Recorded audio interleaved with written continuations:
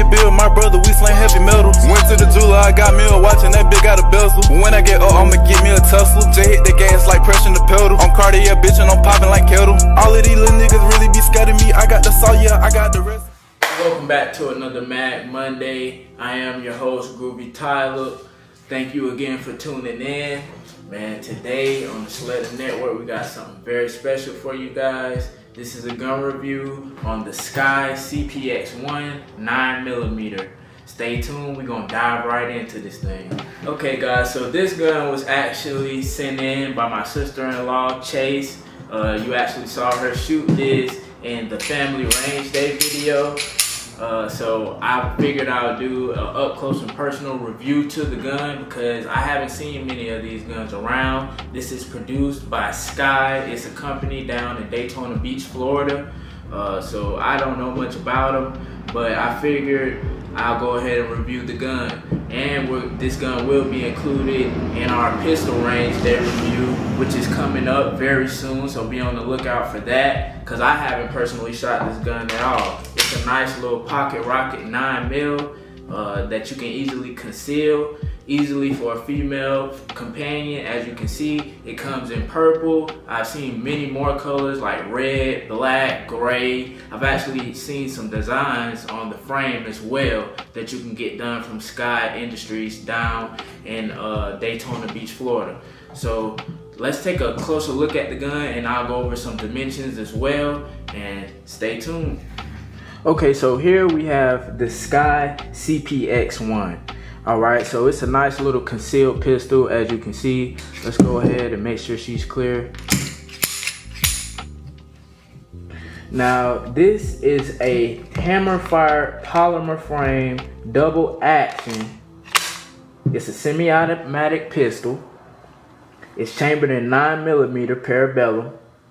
Now, the CPX-1 is a compact firearm that feeds from this staggered column magazine. Um, the pistol is manufactured by SCCY Industries, as I stated earlier, down in Daytona Beach, Florida.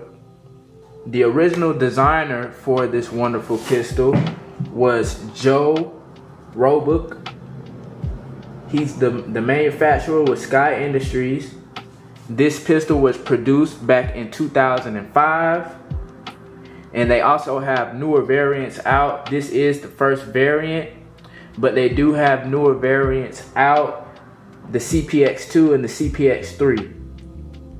Now the length on this pistol from tip of the barrel to end of the slide would be 5.7 inches.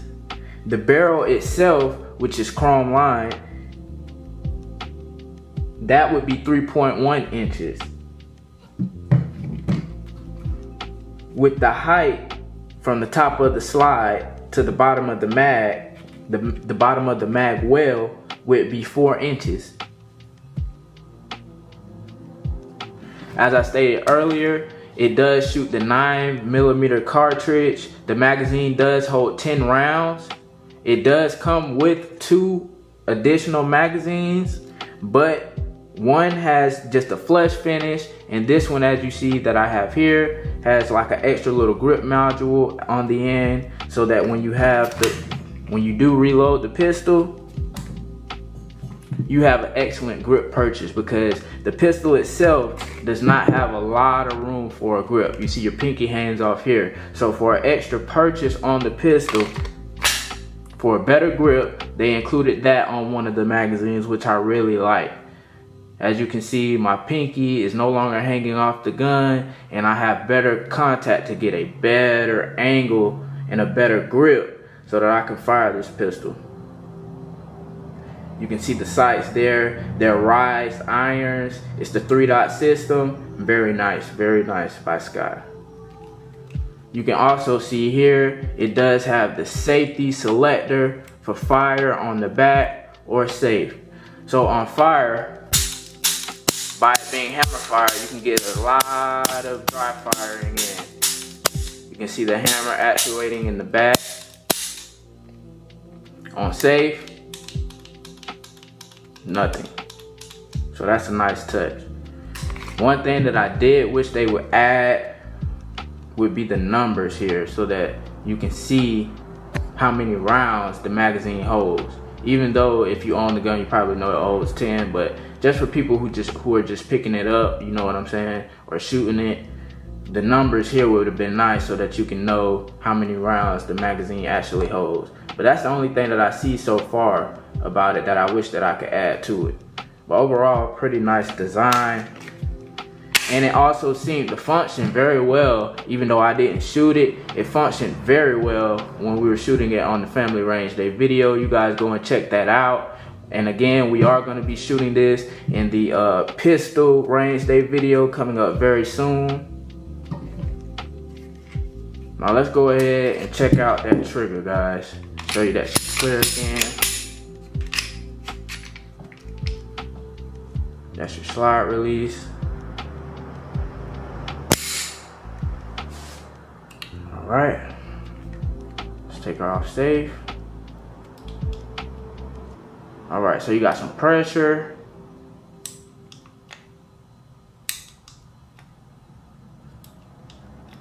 You got a lot of play in there, guys.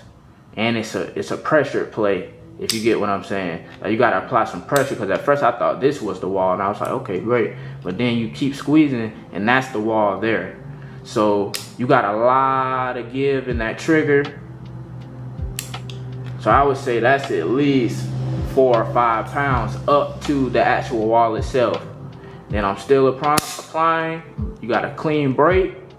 That's around two more pounds of pressure. So overall, I would say six pounds. Your reset is extra long.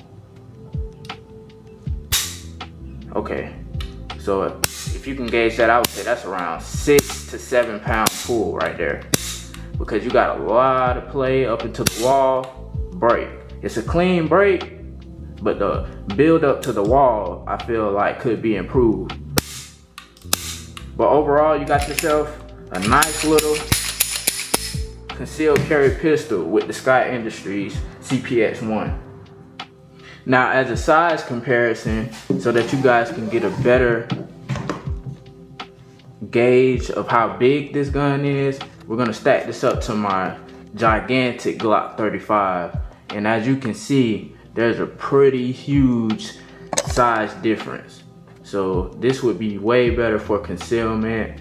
This gun, the Glock 35 has around four inches on this. So, I mean, it's, it's very, very lightweight, not heavy at all. And as you can see, that Glock 35 just makes this look like a baby.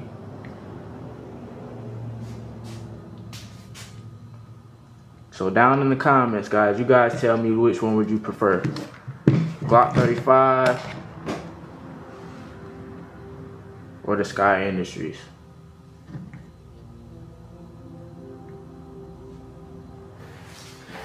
Okay, so now that we got a better overall review of the SCCY Industries CPX-1, please feel free to leave how you feel about this gun in the comments and also let me know whether or not you'll be picking this guy up or not for a concealed carry. This will run you around 150 to 250 at your local gun shop depending on which model and what color you get. So just be on the lookout for it. It's a very, very, very affordable concealed pistol.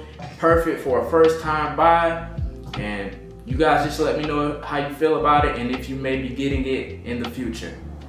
Now, I just want to thank you guys again for all the support we've been receiving over these last few months. It really helps out a lot. I'm really trying to grow the channel as best I can, get more content out for you guys. We are hitting the range soon. You guys really enjoyed that family range day video. So just be on the lookout for the new content. Until next week, guys. Peace. Shout out the global, he puts the infinity. I got the Glock, but you not just like Kennedy. Shout out my ex, and I'm talking about Kenny. She really a free when she be out the Henny. She rockin' Chanel, and it's really that double C. You already know, bitch, I'm rockin' that double G. Hop in the coupe, and that Glock gotta ride with me.